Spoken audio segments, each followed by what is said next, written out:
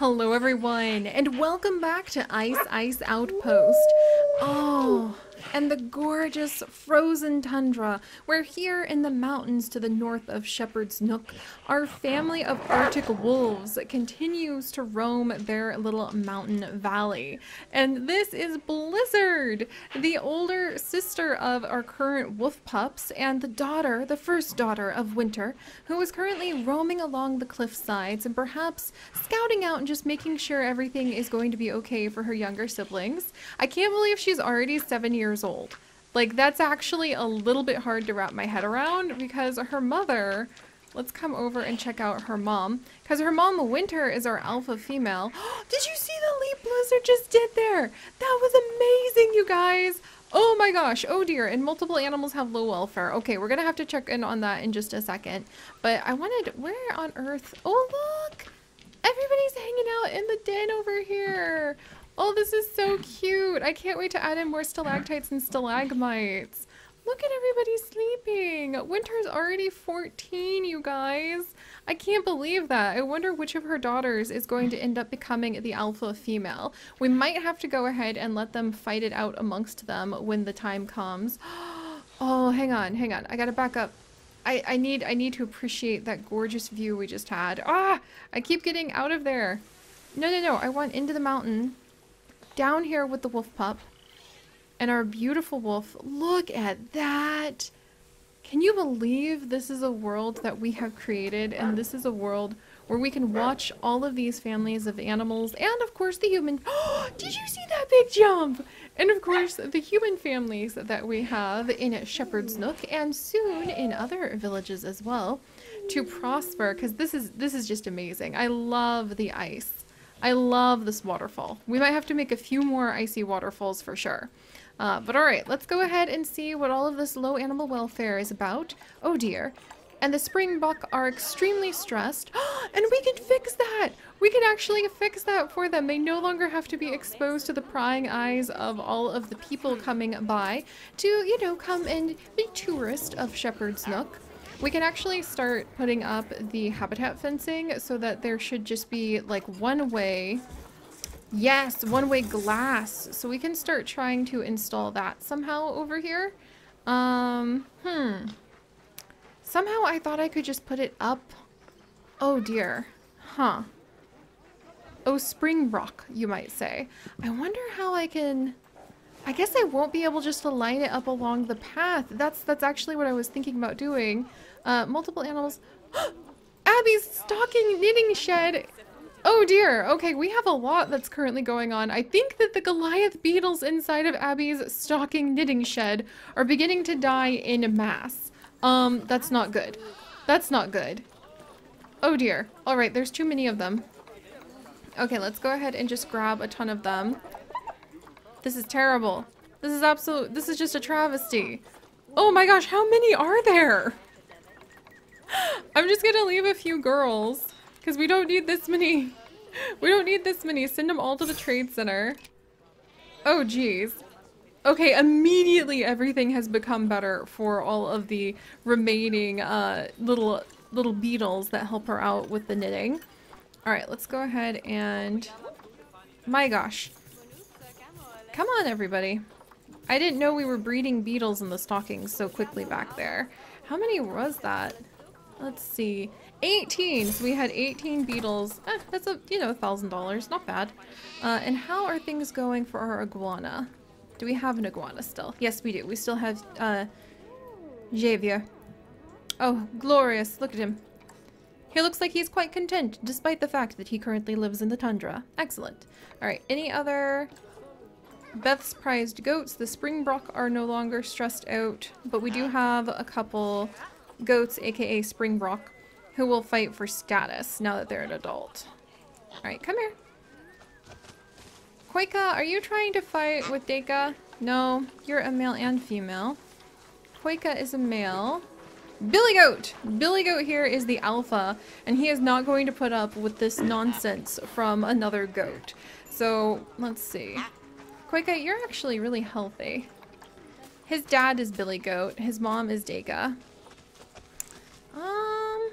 I guess. I don't want them to fight, but they're not fighting just yet. I guess we'll go ahead. Should I release this billy goat? We'll go ahead and release this billy goat to the wild for now. Because there's so many albino springbok, aka goats, available on the animal market. Uh, Alright, but where to next? We have a lot to do, and I do want to start adding in new animals. I want to have our snow leopard come in. I want to be able to come over and add a grizzly bear. I want to have the tracks that people can go through to see the big herds of reindeer that somehow we still don't have. Uh, and there's just a lot of little details that seem to be going wrong with our, our entire area right now that are causing us to lose a lot of money. So I think we need to take a day to kind of snack on the new picnic that we made. By the way, these tables can be changed color. So let's go ahead and change them to like some icy colors to reflect. Look at that. I figured that out the other like night when I was messing around in sandbox mode to try to teach myself more of what to do in Planet Zoo. Look at that! But just like that, you can change the colors. And you can even set it so that like the most recent colors you messed with are the first colors that pop up, which makes it a lot easier when you just want to apply the same design to something, if you don't want to just like copy it. Alright, let's see. We'll do that. This one. And this one. Oh, I think I messed it up. Oh well, it can be slightly different. You know, each one is hand woven by the different quilters and weavers of our village. Oh, that's so nice! I really like that look. Oh, I can even change the color of the canopy. That's charming. We can do just a nice little light blue. To really make you feel like you're just here appreciating the beautiful tundra wilderness. And in fact, I think you could appreciate the beautiful tundra wilderness even more with some flowers, if you ask me. uh, let's see. Biome. Taiga and tundra. And why not? Why not just sneak in here? What kind of flowers can I pick from? Go away, blueprints. I swear, those, those blueprints get in the way a little bit too much, in my opinion. Oh, this! The Labrador teas! Oh, this is perfect. I think we should put down... Oh, I heard the wolf pups just howling. A couple Labrador teas, and maybe some of these little dwarf plants. Let me get a few of them in place. Oh, that's lovely! I love that. Let's copy that whole thing and put it down in a couple spots. There we go. Just some nice... Ooh, we can even put it in for the sheep. So he doesn't have to be all by his lonesome. Every good sheep needs some plants to be able to look at. Alright, we'll kind of slide these over here. Over here. Well, it does look weird when you put it through fencing like that, so we'll rotate this a little. Oh, I love it. Anything that is an excuse to add more plants, I'm gonna love, though. Very nice. Alright, well, like I said, we have very important things to do.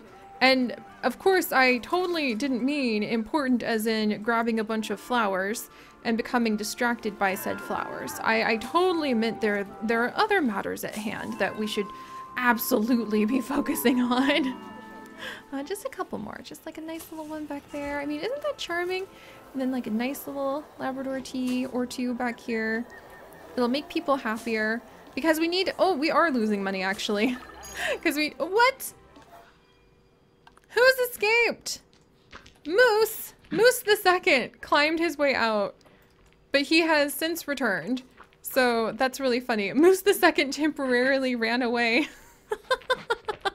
he was gonna go become a, a rough and tough wild wolf pup. Nobody can contain him. Gosh, that's adorable. Oh, that reminds me, we haven't actually added in the uh, ice columns for these wolf pups. And when we add in the ice columns, I think I want to come in and like make a bit of a, like expand the cave or expand where the ice goes. That could be kind of cool. Like as the pack grows, so does their glacier. So what are the two wolf pups named over here? We have Moose the second and we have Arrow. Look at all of them. They're investigating the blood scent in here. Thinking about doing some hunting, are you? Let's see. Yeah, Moose the second and Arrow are the two wolf pups we have. So let's come over and actually get a couple. Christmas Joy is about to mate. Excellent, we'll have more babies. Hmm. And then we'll go ahead and have... How, what, do I, what do I call these things?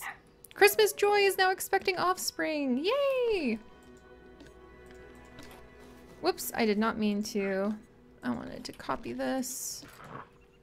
And then paste this name. And this is actually generation 3. And this is going to be Moose the second. There we go. And then over here, we're going to have generation 3. And this is going to be Arrow. Which I think is, whoops, such a lovely name. I really do need to come in and figure out like how, here, we'll just do this for now. How to be able to expand the ice. And then we'll grab this. Oh, that's a huge chunk. Did not mean to grab that gigantic chunk, but maybe this will work too. I mean, it kind of does. Nice. okay. Moose, we sort of majorly expanded the glacier cave with you. And I love how we put the lights at the back so it's just kind of like a little sparkling area. I wish it was better lit, but we'll work on that in the future too. Alright, well enough of like in the future, in the future. We're losing money right now. And I think it's actually coming from cash flow, ongoing expenses, staff wages, animal food, running cost, scenery cost, income. Do we have any ticket sales? Did they temporarily take away like refunds? Okay, there's a few refunds going through. It's mostly staff wages and animal food. So we need to start getting more money from the people then. And the best way to get more money is to get them to fork over those donations. And the best way to get them to fork over donations is to make sure that they are extremely educated about the animals that they're going like for. Moose the second. You are my newest of the troublesome wolf pups, aren't you? He sure is. Every generation of wolf pups we have, there has to be at least one who has to go further where no wolf has ever roamed before and caused trouble. There we go. That should prevent it. Alright, so we need to think about what how to make people happier then. So guest, what say you? I didn't come here to see the staff facilities. Christmas Joy is about to have offspring! Uh, all people are walking past our little lumberjack kitchen and shed and the shepherd gentleman seed hut. Oh no, that's why they're so cranky. Because that's entirely, they're literally, oh no! Oh no! Somebody broke this. Oh dear. Oh my gosh, look, you can see like everywhere people are upset because things have been knocked down. There's a whole bunch of litter over here. Oh my. Okay, so we need to make people happier. And apparently they're just really mad because they have to walk past the seed hut.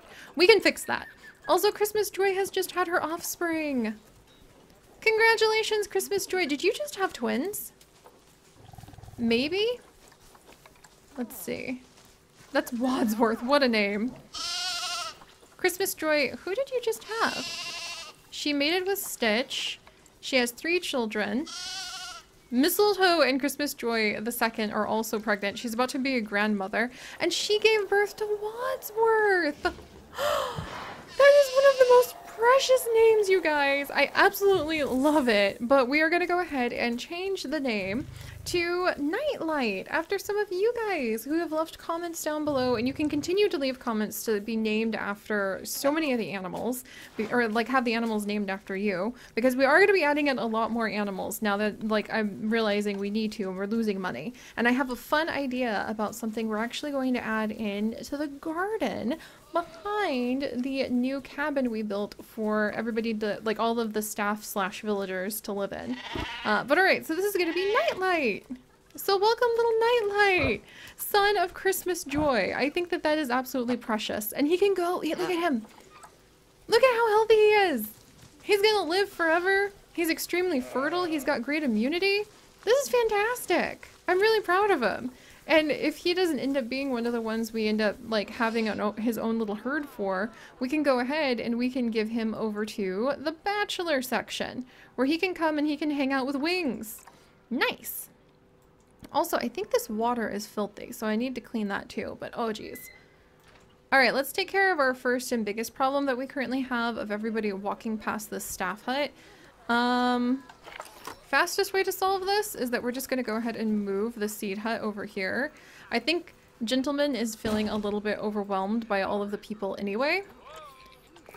Because this is this is a lot of people suddenly just sneaking up on his home and he doesn't know how he feels about this. So we're gonna go ahead put his path down here. People need a oh, can't find an accessible staff room with space. Uh well hey! Animals will fight due to incorrect sex ratio. The springbok we'll work on that, goats. Patience. Mistletoe is about to have offspring. That's all wonderful. But let's try getting a large Let's see. Another large staff center. We have one right here, but it's kind of a long walk from this one. But this is where we're going to put the snow leopard. Hmm. Hmm. Should I have like... No, I don't. I don't really want to have one right here because all right, we're gonna have to, we're gonna, is, is, it still inaccessible? Ooh, vet research is done. We have so much going on, you guys. And we need more animals. We absolutely need more animals because both the quilters don't have anything to research. Uh, yes! The mechanics have researched all of the new world theme and the drink shops. Oh, geez. There's just so much happening I can hardly keep up. Uh, let's go ahead and do India theme and classic theme. Did we already do food? We did already do food. Yay! Alright guys, we're having a good time. Everybody is researching very quickly. We have too many springbok now. So we're gonna have to come and make some decisions. Uh, I think I'm gonna go ahead and grab these three. Who's not related to security goat, like Billy Goat? We'll definitely go ahead and we will release Dwadi to the wild. There we go. And then Billy Goat. Oh, Abriana, the dall sheep's about to die of old age. Oh no. Abriana, don't worry. Your quilt is gonna be right over here. Oh, she has died. Oh, Abriana. Oh, oh, she was 18.2 years old. Okay, she lived to a long age, guys. We shouldn't be too sad about that, but I'm gonna go ahead and grab this quilt. We'll add it to our little quilting memoriam. Which I think is a really, really sweet way to mem like memorialize all of our animals. There we go. And then let me tilt it over here. And there. Alright. And this will be Abriana. Abriana's quilt. There we go. Alright, but I need to start making some progress because who's in this? Get out of there, Vixen. Because we really do need to make our guests happier and, and get more going on here. Staff are having to queue to use the facility for the workshop, huh? There are plenty of workshops. I'm pretty sure we have like two workshops over here. Hmm. Yeah, there's a lot of people researching a lot of things. Well, they're just gonna have to be patient for a minute. Um, gosh. All right, we put the seed hut to the side. I definitely need to fix it. My goodness, I am sorry I am so distracted, you guys. Clearly, it's just because there is so much going on. And there's just so many options for... There we go. For what we could be doing right now. Let's actually hide the staff facilities. That's a good idea, I think. Because we sort of started off with everybody complaining because they could see the staff facilities. And I think that the... That's actually a good idea. We'll do trees for a minute. Because I love trees. And I think that GNU has actually gotten a little shy because everybody was like staring at his seed hut. So we'll go ahead and hide the gentleman's seed hut behind some nice trees. Because see, our staff know not only about being able to cut down all of these trees, but being able to grow some new ones too. So they can start clustering them around. We'll do that for just a minute. We haven't planted trees in quite a gosh darn while. So this makes me very happy. There, like, yeah, we'll get a little forest going. Up along the slopes. Down here, we can even like push these trees down a little further. That'll give Wings something to look at for sure. There you go, Wings. Oh, that's very nice. It's about time we had some trees around this place. We could even add a few more of them in, in little patches. There we go. Maybe we can even... Yeah, people can kind of walk through... If they want to come this direction, they get to walk through sort of this little pine forest. That's much nicer. Now they should not complain nearly as much about like seeing staff facilities or anything silly like that. Alright, we'll put that there. Yay! And Christmas Joy has had her offspring! Alright, Christmas Joy, let me go ahead and pick another one of your guys' names from the random name generator. And Christmas Joy has just had little baby Zoe, who we are going to rename in just a second after one of you guys.